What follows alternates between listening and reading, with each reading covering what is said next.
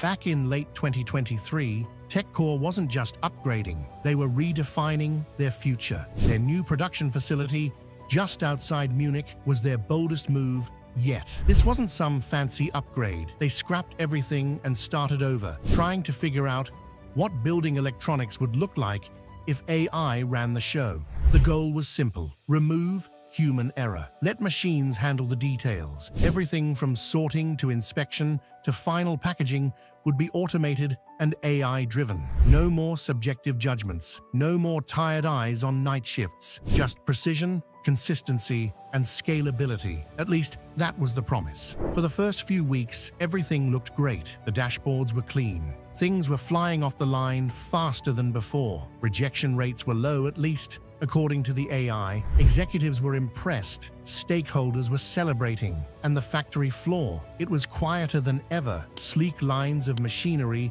ran smoothly with minimal intervention. It was the kind of efficiency they'd dreamed about for years. But something strange started happening in the background. Shipments began arriving incomplete. Not in massive ways at first, just a missing case here, a short delivery there. The kind of things that get chalked up to logistics mix-ups or temporary supplier delays, but it kept happening, and it kept getting worse. A large order to Singapore arrived 40% short. France called asking why three pallets had been replaced with air. Retailers in the Netherlands reported sudden stock gaps with no explanation. Internally, the record said everything had shipped, but in reality, massive volumes of product had never left the facility. It wasn't until someone on the operations team finally checked the AI's rejection logs that things started to click. But the real question is, what had the system been flagging all along?